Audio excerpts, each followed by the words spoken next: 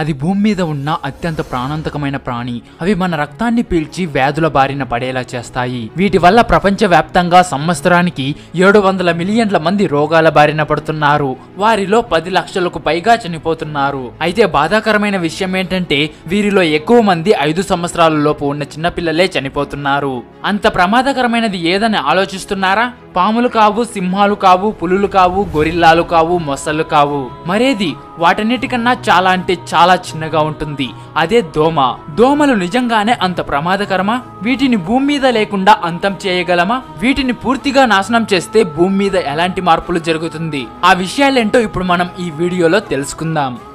Friends మీలో ఎవరైనా ఇంతవరకు నా ఛానల్ని కనుక సబ్స్క్రైబ్ చేసుకోకపోయింటే ఇప్పుడే వీడియో కింద ఎర్రగా కనిపిస్తున్న ఈ సబ్స్క్రైబ్ బటన్ నొక్కి సబ్స్క్రైబ్ చేసుకుని పక్కన వచ్చే బెల్ ఐకాన్ని ఇప్పుడు వీడియోలో చూపిస్తున్నట్టు యాక్టివ్ చేసుకోండి. అలా చేస్తే నేను అప్లోడ్ చేసే ప్రతి వీడియో మీకు నోటిఫికేషన్ ద్వారా వస్తుంది.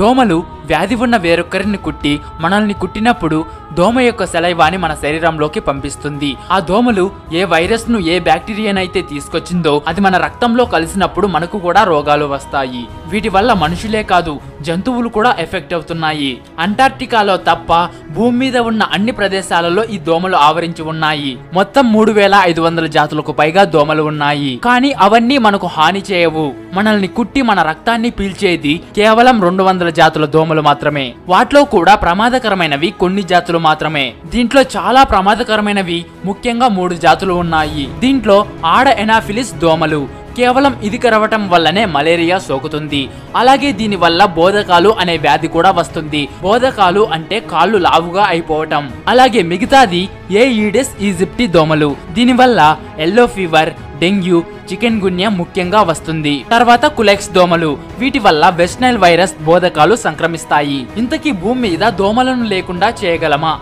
కేవలం అలాస్కాలో మాత్రమే ఏడు ట్రిలియన్ల దోమలు ఉన్నాయని అంచనా వేశారు. అలాగే మన దేశంలో కూడా నాలుగు వందల జాతుల దోమలు ఉన్నాయి. ఇప్పుడు దోమలను పూర్తిగా నాశనం చేయడానికి ఉన్న మార్గాలేంటో చూద్దాం.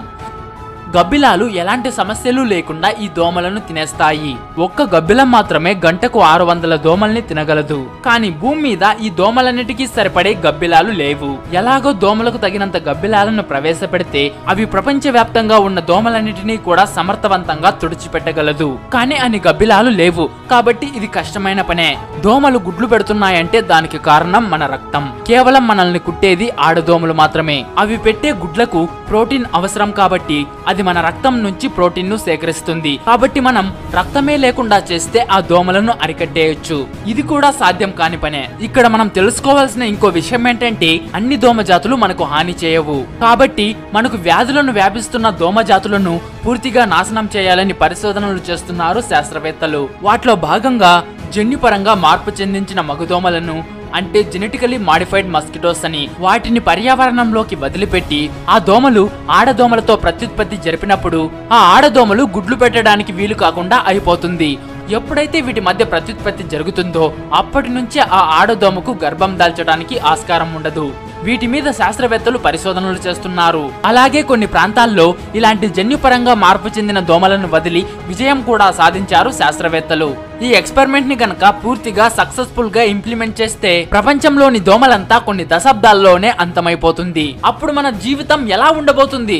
ముందు మనం ఆహారపు గొలుసులో ఎలాంటి మార్పులు జరుగుతుందో చూద్దాం. చేపలు కప్పలు పక్షులు గబ్బిలాలు మరియు ఇతర జీవులకు మాత్రమే ఈ దోమలు ఒక ప్రధాన ఆహారపు వనరుగా పనిచేస్తాయి. కానీ ఆ జీవులు కేవలం ఈ దోమల మీదే ఆధారపడి బ్రతకటం లేదు. వాటికి కూడా ఆల్టర్నేటివ్స్ ఉన్నాయి. జానెట్ మెక్ అలిస్టర్ అనే శాస్త్రవేత్త ఏం చెప్పారంటే దోమలు వేలాది మొక్కలను పరాగ సంపర్కం చేయటంలో సహాయపడుతుంది. కానీ మానవులు ఆధారపడుతున్న ఏ మొక్కలకు దోమల పరాగ సంపర్కం కీలకం కాదని ఆయన అన్నారు. సో దీనివల్ల మనకు తెలుస్తున్నది ఏంటంటే దోమలు లేకపోతే ఆహారపు గొలుసులో గాని మానవ మనుగడలో గాని అంత పెద్ద మార్పులేది ఉండదని తెలుస్తుంది. ఇక్కడ మనం ఇంకో అద్భుతమైన మార్పు చూడొచ్చు. ఈ దోమల వల్ల సంభవించే వ్యాధులతో ప్రపంచవ్యాప్తంగా సంవత్సరానికి సుమారు పది లక్షల మంది చనిపోతున్నారు. కాబట్టి ఈ దోమలే లేకపోతే అలా చనిపోతున్న వాళ్ళందరి ప్రాణాలు కాపాడొచ్చు.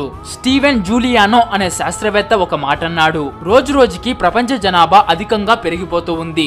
సో ఈ దోమల వల్ల కొంతమేరకైనా జనాభా తగ్గుతుంది కదా అని అన్నాడు. ఫ్రెండ్స్ ఈయన అభిప్రాయం మీద మీ ఒపీనియన్ని కింద కామెంట్ రూపంలో తెలపండి. అయితే చాలా థీరీస్ ఏమని చెప్తున్నాయంటే అమెజాన్ ఫారెస్ట్ ఈ దోమల వల్ల కొంత మేరకు రక్షించబడుతోందట. ఎలాగంటే ఆ అడవిలో ఉన్న భయంకరమైన దోమలను చూసి చెట్లను నరకడానికి ఎవరూ సాహసించరట.